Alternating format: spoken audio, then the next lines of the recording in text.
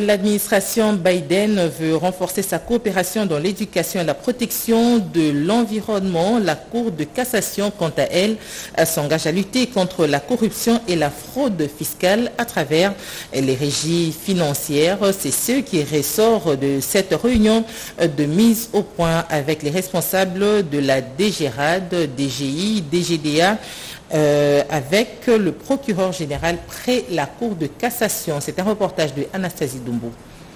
Au centre pénitentiaire et des rééducations de Kinshasa, CPRK, la promiscuité bat son plein. Le désengorgement est urgent. Les droits humains exigent des conditions carcérales pas infrahumaines. L'inspecteur général des services judiciaires et pénitentiaires, Pierre Essabé Kamoulete, était à Makala pour vérification des dossiers pénitentiaires et libérer les prisonniers qui peuvent l'être un travail judicieux qui nécessite que soit expliqué aux pensionnaires le sens de la démarche. Je suis venu pour ceux qui sont en face de moi. Vous allez à citoyens congolais. Vous êtes des citoyens congolais. Votre situation doit nous préoccuper. Il faut que nous il est important pour le pouvoir public de s'assurer que ceux qui sont en prison ont effectivement été condamnés à des peines d'emprisonnement. Formalité d'usage terminée, l'inspecteur général des services judiciaires et pénitentiaires et toute sa délégation, sur instruction de la ministre d'État, ministre de la Justice et garde des Sceaux, Rosmo Tombo se sont mis au travail, s'imprégnant du dossier l'un après l'autre. Vous allez corriger avec moi qu'il s'agit de l'inspecteur général des services euh, judiciaires qui est allé s'imprégner des dossiers euh, de chacun des prisonniers. Question de résoudre euh, cette question de surpopulation de le centre pénitentiaire et de rééducation de Makala. Parlons à présent de la Cour de cassation qui s'engage à lutter contre la corruption et la fraude fiscale à travers les régies euh, financières. Eh bien, c'est ce qui ressort de cette réunion de mise au point avec les responsables de la DGRAD, de la DGI, de la DGDA, avec le procureur général après la Cour de cassation. Anastasie Dumbo.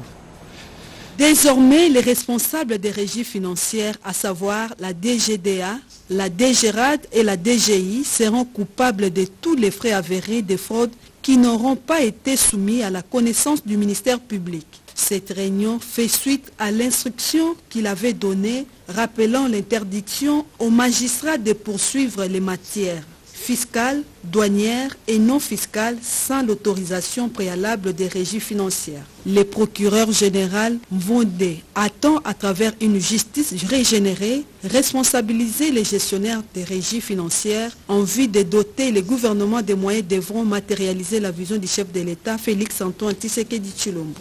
Et pour besoin de dissuasion, lorsque un fait de fraude s'avère vrai et que dans la commission de cette fraude est impliqué un agent du douane ou des régies financières, il faut que cet agent non pas seulement subisse des sanctions disciplinaires, mais aussi pénales, puisque le même fait disciplinaire peut être un de fait pénal. Firmin Vonda est conscient que la maximisation de la caisse de l'État passe par l'assainissement du climat des affaires, d'où même les magistrats escrocs subiront la rigueur de la loi. Ce décret reste encore en vigueur tant qu'il n'a pas été abrogé, car la loi précède le fait à rappeler Firmin Mvonde Mambo. Et puis la 47e Assemblée générale annuelle de la Fédération des sociétés d'assurance des droits nationaux africains se tient ici à Kinshasa du 20 au 24 février. Le ministre congolais en charge des Finances, Nicolas Kazadi, a présidé la cérémonie d'ouverture. C'était hier 20 février en la salle de congrès du Palais du Peuple. C'était un reportage de Merveille Mikomo et Sionde e Macabe. Emaka de la 47e Assemblée générale annuelle de la Fédération de sociétés d'assurance de droit national africaine FANAF a eu lieu ce lundi 20 février 2023 à Kinshasa, en la salle de congrès du Palais du Peuple, sous le thème « L'assurance africaine, comment exploiter au maximum son potentiel pour une prospérité partagée ». Sous le patronage du chef de l'État, Félix-Antoine Tshisekedi, le ministre congolais en charge de finances, Nicolas Kazadi, a présidé cette cérémonie marquant l'ouverture. Je prends la parole à l'occasion de la 47e Assemblée générale de la Fédération des sociétés d'assurance du droit national. africaine, la FANAF, il va se tenir durant quatre jours à Kinshasa. C'est un immense honneur que vous faites à notre pays. L'assurance est une nécessité, est un privilège. Je voudrais ainsi vous inviter à tirer pleinement profit de ces journées d'échange et de réflexion. Mon souhait est que cette 47e Assemblée générale de la FANAF soit un moment de partage d'expérience et d'enrichissement mutuel. Juste après, s'en est suivi la conférence inaugurale. Le président de la FANAF, M. Komi Afeni César, a par la même occasion procédé à la remise des cadeaux au ministre des Finances pour son accompagnement. Il sied de préciser que cette 47e édition de l'Assemblée générale de la Fédération de sociétés d'assurance de droit national africaine réunit différentes personnalités et experts de tous les pays africains et d'ailleurs envie de réfléchir ensemble et apporter des solutions aux besoins qui présentent le secteur de l'assurance au niveau panafricain et international. Une mission de séduction à Rabat pour convaincre les mondes des affaires marocains. Anthony Kinzokamole de l'ANAPI prépare cette mission économique. Reportage. On connaît mal les potentialités titanesques de la RDC. On est malheureusement euh, prisonnier un peu de, des rapports euh, des instances internationales et surtout des médias. Mais là, quand un groupe d'entrepreneurs, d'hommes d'affaires, euh, qui va se déplacer au Maroc, ça va changer la donne. Lorsque vous ouvrez toutes les différentes chaînes, c'est le viol en RDC c'est la corruption en RDC, c'est la guerre qui se passe. Mais on ne présente pas ce fleuron que nous avons. Pour le secteur agricole, nous avons de l'expertise à obtenir du Maroc. Nous avons le secteur de l'industrie, nous avons le secteur de l'énergie, nous avons le secteur du tourisme, nous avons le secteur de la santé. Ce sont ces différents secteurs que nous voulons mettre en avant avec cette mission économique. Mission économique qui va retrouver euh, la partie privée, la chambre de commerce, et certains autres opérateurs économiques privés qui accompagnent et qui ont cru en cette mission économique. Nous avons aussi affaire RDC qui est une plateforme des Congolais qui se trouve au niveau du Maroc, qui est pratiquement une des parties prenantes de cette mission économique. Je suis très, très content de cette mission, d'en faire partie, d'avoir contribué justement à l'élaboration de la mission. J'espère que c'est la première et non pas la dernière. Au contraire, je pense que nous allons faire connaître le produit RDC, faire connaître le produit également Maroc ici en RDC et prochainement, j'espère que nous aurons l'honneur d'accueillir nos partenaires et amis marocains ici en RDC. Eve Bazaïba Massoudi, accompagnée d'une délégation égyptienne au site de l'Intélé pour une inspection dans la mise en œuvre euh, du projet d'installation des forages d'eau dans ce coin euh, de la capitale. Cette visite rentre dans le cadre des différents projets communs liés à l'eau et irrigation entre la République démocratique du Congo et l'Égypte. On en parle avec euh, Francine Atomissi. Les choses se précisent pour les débuts d'installation de forage au plateau des Bateke dans la périphérie de la ville de Kinshasa. La vice-première ministre, ministre de l'Environnement et Développement durable, Eve Bazaïba Massoudi et son collège égyptien à la tête d'une délégation des experts, ont effectué une descente au site choisi pour la matérialisation de ce projet. Les techniciens de la direction des ressources en eau ont à cette occasion éclairé les deux parties sur la motivation liée au choix de ces terrains. Nous sommes dans l'étape maintenant de l'exécution pour les 12 puits de forage, mais dans un mois, il y aura déjà le démarrage pour la construction des puits de forage. Et le premier puits sera érigé ici, à ce site ici que nous sommes là. Je ce site parce que Premièrement, c'est la sécurité, parce qu'ailleurs, on a vu qu'avec le vandalisme, souvent quand on construit des puits, il y a des gens qui peuvent détruire le, puits. C'est pour ça qu'on a préféré là où il y a les notables, ou bien le chef de terre, sécurité. Ces projets de gestion intégrée des ressources en eau va desservir une agglomération à vocation agricole de près de 30 000 habitants. C'est dans le cadre de la coopération bilatérale RDC-Égypte lancée en 2012. Ces partenariats portent entre autres l'installation de forages à travers la République, la construction de centres de micro-barrages et échange d'expériences entre les fermiers et agriculteurs de deux pays. L'Organisation des Premières Dames d'Afrique pour le Développement, OPDAD, a tenu à Addis Abeba en Éthiopie son assemblée générale ordinaire présidée par les Premières Dames de la Namibie et celle de la République démocratique du Congo. Les Premières Dames, les premières dames ont toutes, à l'issue de ces travaux, ben, validé leur plan stratégique pour l'année 2023. Naïcha Kiala. Pour sa première grande rencontre de l'année, le nouveau comité directeur de l'Organisation des Premières Dames d'Afrique pour le Développement, dirigé par Mme Monica Ngengos et Mme Denise Nyechiruchi Sikidi, respectivement présidente et vice-présidente, a choisi le siège de l'Union africaine pour entre autres définir sa ligne directrice.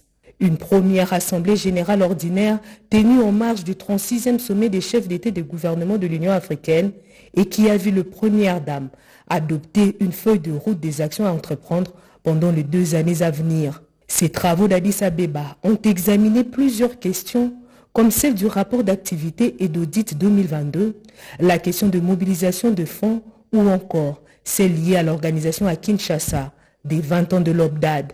Un travail présenté par le secrétariat et l'ensemble des conseillers techniques. Cette 27e Assemblée générale ordinaire de l'Organisation des Premières Dames d'Afrique pour le Développement a permis aux First Ladies de dégager un plan stratégique pour l'année 2023. Un plan qui est en réalité un accélérateur du précédent qui a souffert d'exécution pour raison de la pandémie de la Covid-19. L'engagement des premières dames ainsi que la portée des activités programmées en 2023 impose une technique efficace de mobilisation de ressources dans une approche transparente, comme l'a exprimé devant ses pairs Denise Nyakiruchi Sekedi, première dame de la RDC et vice-présidente de l'OBDAD. Cette assemblée générale a offert l'occasion aux premières dames de repenser l'organisation structurelle de l'OBDAD afin de répartir totalement redynamisée à la conquête de nouveaux objectifs. Processus électoral. Le président de la commission électorale nationale indépendante poursuit sa mission dans l'arrière-pays.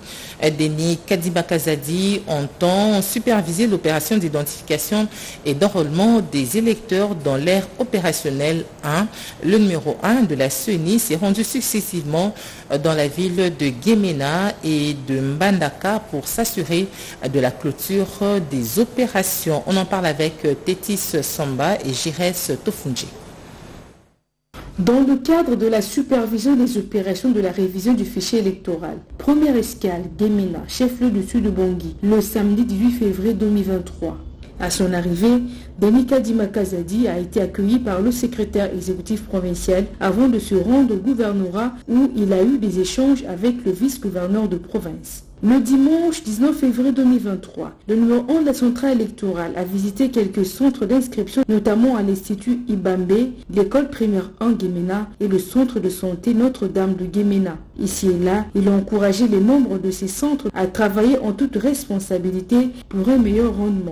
La délégation a effectué une halte au siège provincial de la CENI où il a échangé avec le personnel et agents temporaires. Arrivé dans la ville portuaire de Mbandaka et chef-lieu de l'Équateur, le président de la CENI a été accueilli par le secrétaire exécutif provincial. Le numéro 1 de la centrale électorale a présenté ses civilités aux autorités provinciales en présence de quelques hauts cadres. Leurs échanges ont tourné autour de la sécurisation du processus d'enrôlement. Denis Kadima Kazadi est allé au complexe scolaire Essengo et à l'école primaire Liziba où il s'est entretenu avec le personnel commis à cette tâche, mais aussi les requérants. Au siège local de la CENI, le secrétaire exécutif provincial a fait un état de lieu du démembrement placé sous sa responsabilité. Pour boucler son périple, Denis Kadima Kazadi et sa délégation ont ensuite effectué une descente sous le fleuve Congo pour voir les embarcations propriété de la CENI, et ce, avant de visiter un entrepôt logé dans les bâtiments du laboratoire provincial de santé publique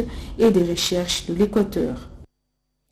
Et puis, la ministre d'État en charge du portefeuille euh, tient à la restructuration profonde des entreprises publiques. Elle a échangé avec euh, le bureau d'études américain prêt à réorganiser la Société nationale d'électricité. On en parle dans ce reportage de Angèle Mabialalandou. À son arrivée à la tête du ministère du portefeuille, la princesse Adel Kainda Maïna avait initié la revue du portefeuille pour mieux cerner les mots qui rangent différentes entreprises publiques afin d'une restructuration profonde. Cas une entreprise qui regorge des potentialités énormes en termes d'énergie, mais les services de distribution pour satisfaire sa clientèle posent problème. Il faut vite une restructuration profonde pour avoir de résultats escomptés. Après appel d'offres, c'est un bureau d'études américain qui a arraché le marché Tetbatek se propose de commencer par la récolte des données pour mieux appréhender les problèmes, puis élaborer un rapport qui sera présenté au gouvernement pour validation, ainsi obtenir une feuille de route pour engager les parties prenantes qui vont contribuer à la restructuration de la SNEL. Il faut un travail de tutant pour que les données récoltées soient fiables afin que la SNEL puisse concurrencer d'autres entreprises mondiales, a dit la ministre d'État en charge du portefeuille. Nous sommes en train d'avoisiner maintenant à 5 millions d'habitants. La ville-province de Kinshasa, on est entre 12 et 15 millions. Mais les abonnés reconnus, on est à 800 000, pas même 1 million. Mais comment est-ce qu'on peut arriver à rentabiliser la production? Si on arrive à instaurer avec les systèmes de compteurs intelligents, quand vous n'avez pas des abonnés, comment est-ce que vous pouvez même arriver à fiabiliser cela? Il y aura toujours des cas de perte au ministère du portefeuille sur l'opération Zéro Commission, il n'y aura donc pas d'interférence pour un aboutissement heureux de ces dossiers, a renchéri la patronne des entreprises publiques. Les activités du rapporteur adjoint du Sénat, Michel Kanimbu, à l'Assemblée provinciale du Lualaba, on en parle dans ce reportage de Oscar Mbal. En ce jour de travail dans la province du Lualaba, le rapporteur du Sénat, l'honorable Michel Kanimbu, a pris la direction de l'Assemblée provinciale où l'attendait le président de cet organe délibérant, l'honorable Kamouni. Les deux personnalités sont toutes membres de l'Union sacrée. Et nous devions discuter et faire les contours sur le fonctionnement, les problèmes dans la province et surtout pour travailler afin de faire élire notre candidat qui est le président Félix Tshisekedi. Avec la société civile dans sa pluralité, la situation sociopolitique de la province a été passée au peine fin. De toute oreille, Michel Kanyimbu, qui séjourne dans l'île là-bas, dans le cadre de ses vacances parlementaires, a pris bonne note et invité ses interlocuteurs à plus de cohésion et regarder tous dans la même direction pour le développement de leur province. Même démarche pour les délégués des confessions religieuses qui ont longuement échangé avec les rapporteurs du Sénat, Michel Kanyimbu. Si rien n'a filtré de ces entretiens, l'on croit savoir que la marche de leur plateforme religieuse était au cœur de cette rencontre. Autre décor, quelques chefs de groupement et autorités traditionnelles du Lualaba ont pris langue avec les rapporteurs du Sénat à qui ils ont soumis leurs préoccupations résumées sur le développement de leur milieu c'est le cas du groupement Mwenching, territoire de Kapanga. Juste après, c'est au tour du chef de groupement Mushima dans le territoire de Muchacha, secteur de Lufupa. Les questions liées à la construction des écoles, des hôpitaux, des routes ont été soumises à ces fils du coin, ce qui va limiter l'exode rural puisque les minimums de conditions de vie seront assurés dans les milieux ruraux, a-t-il conclu. Démarrage hier lundi 20 février des travaux de construction de la route nationale numéro 1 dans son tronçon compris entre Mbujimaï et Kananga, une route de longue de 188 km. Il s'agit d'un projet, initié par le chef de l'État Félix Antoine Tshisekedi Chilombo pour désenclaver les chefs-lieux du Kassai oriental et du Kassai central, à Bikaï. C'est parti les travaux de construction des routes numéro 1 Boujimaï Kananga, long de 188 km, ont démarré ce lundi 20 février sous la supervision du vice-gouverneur du Kassai oriental, Julie Kalenga. La démonstration faite, l'un des engins de l'entreprise égyptienne semble à déchirer la terre aux environs du rond-point Petrombo Soleil, observateur des habitants de Mbujimaï, qui ont salué cette action du chef de l'État Félix Antoine Tshisekedi Tilombo. Au nom de la province du Kassai oriental, le vice-gouverneur a remercié le président de la République et les FPI pour cette intervention tant entendue par la population, car l'objectif de cette construction est de désenclaver ainsi que de permettre la fluidité du transport entre la ville de Moujimaï et plusieurs points de consommation provinciaux et nationaux. Du côté du FPI, l'un des cadres de cet établissement public, François Pouila, qui a reçu le mandat du directeur général, Bertin Moudimou Sekedi, de suivre l'évolution de ses projets au quotidien à rassurer la population STK de la détermination du FPI de mener ses projets jusqu'à bon port. Dans l'aspect opérationnel, l'entreprise Samcrit rassure que les travaux ont commencé d'un côté pour permettre la fluidité des transports. Il sera fait de même pour l'autre côté après les premiers lots. Et à l'extérieur de la ville, il y aura des déviations. L'appel a été fait à la population de s'approprier de ces projets du président de la République, Félix Antoine Tshisekedi Tilombo, qui prêche par des actes et des actions. Dans le Congo central, le laboratoire psychochimique euh, placé par euh, l'OCC à Loufou fait un travail euh, de qualité. Ce bâtiment a été visité par Christelle Moabilou, directeur général adjointe de l'OCC qui revient d'une mission d'inspection. Ce bâtiment administratif de l'agence de l'Office congolais de contrôle à Lukala situé dans le Congo central que devant cadre et agents de l'OCC Christelle Moabilou, directeur général adjoint, a expliqué l'objectif de sa mission. Il était question de palper du doigt toutes les réalités euh, que rencontre la direction provinciale de centrale de manière générale voir un peu comment le travail s'effectue. Je suis très flattée et très fière de toute l'équipe des agents qui travaillent dans toutes les agences, que ce soit Mwanda, Goma, Matadi, Bukala. Satisfait par la visite de la 2GA de l'OCC, le directeur provincial croit à un avenir glorieux de l'OCC Congo central. Après le Grand Katanga, c'est le Congo central qui vient en deuxième position en termes du budget. Mais nous connaissons beaucoup de difficultés pour atteindre ces prévisions. Mais nous pensons qu'avec la visite de Madame le directeur général adjoint, les, des solutions doivent se retrouver à nos problèmes. Bien avant cette rencontre de Lukala, Christelle Moabilou était également devant le personnel de l'OCC section Loufou dans le territoire de Songololo. À Loufou, la DGA a visité le bâtiment abritant les guichets uniques, poste frontalier Loufou, et le parc container ainsi que le laboratoire d'essais physico-chimiques et microbiologie de l'OFU spécialisé dans le produits alimentaires et non alimentaires ainsi que l'entreprise Bakansak spécialisée dans la production de sacs emballages biodégradables à Kimpese. En religion, pour terminer, parlons des 90 ans d'existence de la paroisse Saint-Pierre. Euh, Monseigneur Charles Ndaka, qui a présidé la messe eucharistique, a, a, invité les chrétiens à soutenir toute action qui rentre dans la mobilisation de chrétiens. On en parle avec plus de détails dans ce reportage de Diane Balaka. 1933-2023, jour pour jour, la paroisse Saint-Pierre totalise 90 ans d'existence depuis sa construction dans la commune de Kinshasa. La célébration de cette messe du jubilé nonagénaire a été marquée par le lancement officiel des activités commémoratives. Monseigneur Charles Ndaka, évêque auxiliaire de l'archidiocèse de Kinshasa, a présidé cette Eucharistie. Son homélie a été axée sur la sainteté et l'amour du prochain. L'évangile a été tiré du livre de Saint Matthieu, chapitre 5, du 38e au 48e verset.